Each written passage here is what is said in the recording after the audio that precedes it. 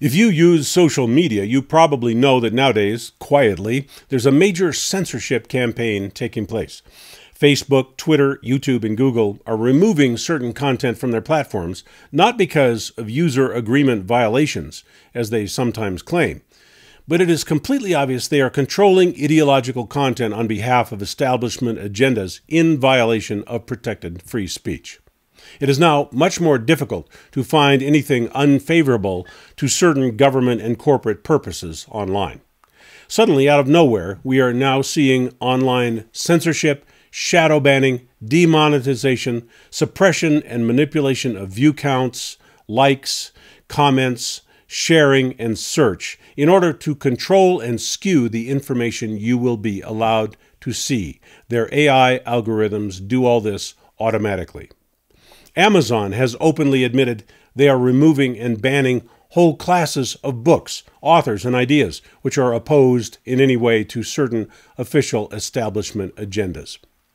Amazon and Jeff Bezos, who enjoy multi million dollar government security contracts to share your personal online search data, are not surprisingly serving the corrupt interests of government by banning any written material that the government asks them to ban.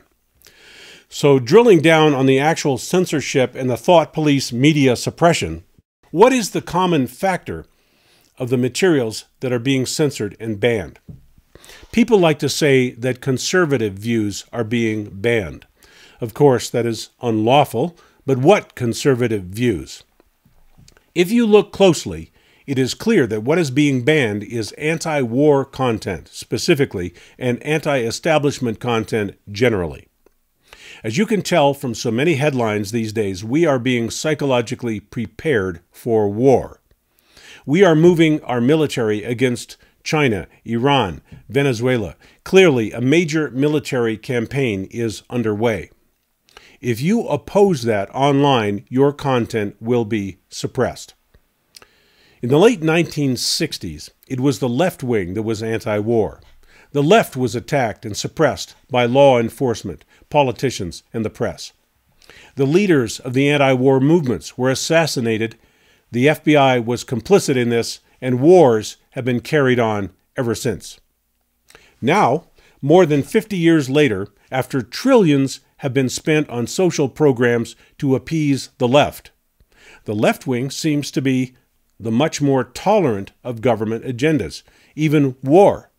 And the right wing, the conservatives, have now emerged as the more anti war group. So it is now grassroots conservatives who are being censored, targeted, and harassed. It is now glaringly obvious that wars are started by the USA to seize other nations' resources, usually minerals, drugs, or oil. That has been the case in Afghanistan, Iraq, Yemen, Syria, Libya, now Venezuela. The USA is simply plundering other nations' resources under the pretense of making the world safe for democracy. With the great irony that in the case of Venezuela, the U.S. military, government, and media are trying to depose a democratically elected leader and install a corrupt puppet who simply declared himself to be the leader of Venezuela. A puppet who welcomes the USA into Venezuela to take over the oil industry there. There is nothing democratic about invading and looting other countries, and our government is no longer able to pretend it is doing anything different. But there is another reason why war is considered inevitable by the powers that be. The Federal Reserve note is quickly inflating to zero value, and that system of currency has caused federal, state, and local governments to become hopelessly in debt. It is a debt based currency, essentially a Ponzi scheme, which is guaranteed to fail, guaranteed to be overprinted, overloaned, overborrowed. Everywhere, from the highest levels of government to the individual private citizen, we have borrowed more than we can repay. And without repayment, the economy and currency collapse. The clock is running out on the Federal Reserve note system right now and the people who control that currency system are very aware of this looming crisis. There will either be an economic collapse or a currency reset in which the worthless currency is replaced by something else. Either way, the users of the Federal Reserve notes will lose most of their wealth. The holders of those dollars will lose their wealth. This will be a political disaster, and the only way to camouflage that politically is to launch a major war and blame the economic problems on the war, when the problems are without question actually caused originally by the adoption of debt based currency, in our case, the Federal Reserve Note. When Federal Reserve notes are created, they're created and loaned at interest. But with debt based currency, it is not possible to print enough money to pay off the principal and the interest, because every new dollar printed has additional interest due. So eventually the currency system simply collapses under the excess burdens of interest and debt. That is where the Federal Reserve note is right now. While Facebook and Twitter ban Alex Jones and InfoWars for spreading this bad news, they never have any valid allegation that Jones is falsely reporting anything. While the USA works to extradite and persecute Julian Assange, they never have any valid allegation that Assange falsely reported anything. This is not false reporting that is being banned, it is truth. It is anti war content, it is anti establishment content. The many journalists who have now been banned, fired, imprisoned, or killed did not falsely report anything. They made the mistake of reporting certain facts which exposed the crimes of government and corporate officials. And the worst crimes of government and corporate officials are the crimes of making war. Of course, you can handle anything the press has to say. There's no reason to keep information from you. There's only one reason for banning and censoring the press and those who engage in free speech. That reason is that powerful people want to lie to you. The people who control media want to control what you see, know, and think. They must suppress truth. They must suppress free speech. They must suppress investigation and reporting of what they are doing. And they must repeat lies over and over in the media until people start to believe the lies. You and I are being pushed into war and it takes a lot of propaganda and media control to do that. Every time in history there was any kind of book burning campaign, a war followed. And before every major war, there has been some kind of book burning, persecution of journalists, suppression of free speech, control of the media. They always go together. Sometimes it has included the rounding up and murder of intellectuals, anyone who might offer information or insight which would oppose official agendas. The only way that something as horrific as war can be perpetrated is if information and public opinion is strictly controlled.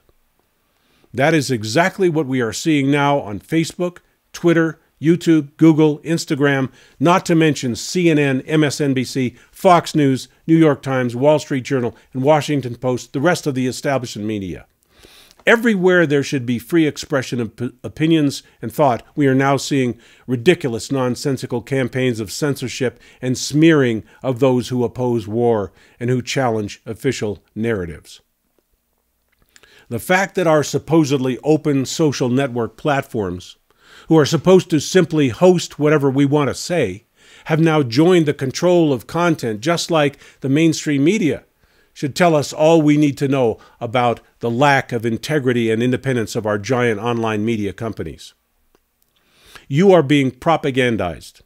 The messages that reach you now are being tightly controlled. The people who are trying to bring you the truth and alternative information are being ruthlessly suppressed and attacked, while official narratives are being sold to you in a relentless stream of mainstream media propaganda in the headlines, the reports, the programs, the commercials, the news stories, and the official announcements. So, what can be done? Do not automatically accept the narratives that tell us war is coming. Actively search for truth and alternative sources of facts. Look deeply into the personal motives, the financial and pol- political incentives of those who are telling us there must be war. Look objectively at whether war is really in anyone's best interests. During major wars, millions of people starve from the loss of commercial infrastructure. Millions of people are killed. Millions of people are displaced and torn from their homes as refugees. In the past wars, the United States has been largely spared attack from the outside. Next time, that will not be the case. Drones, missiles, EMP attacks can hit any square inch of the United States, and there is little that could be done to prevent that. North America can now be destroyed. We can be killed in our homes, and not one enemy soldier needs to land on our shores to do it.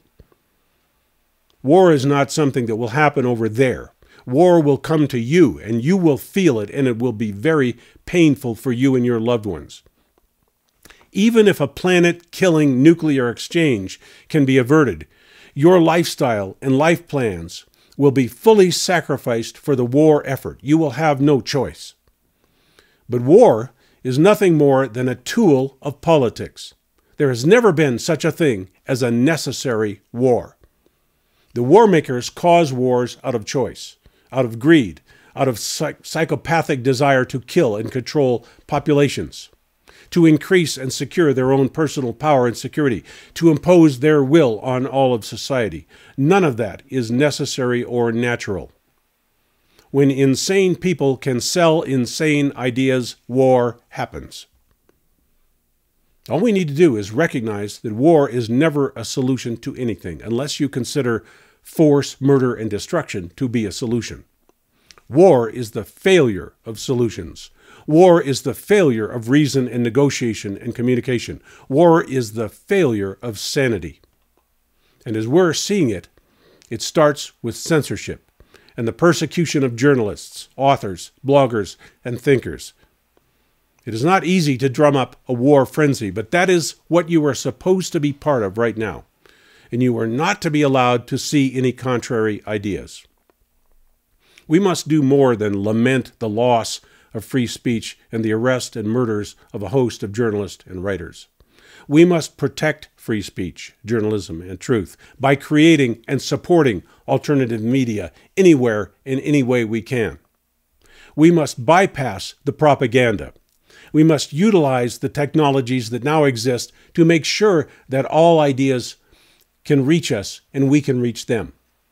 We must be constantly suspicious of the narratives echoing from all of our media outlets, mainstream, independent, and alternative. But we must insist that we have access to diverse information. We must search for the truth wherever that leads us. And we must make ourselves heard when we say that war is not an answer, not a solution, not an option if we are to have a peaceful and prosperous world.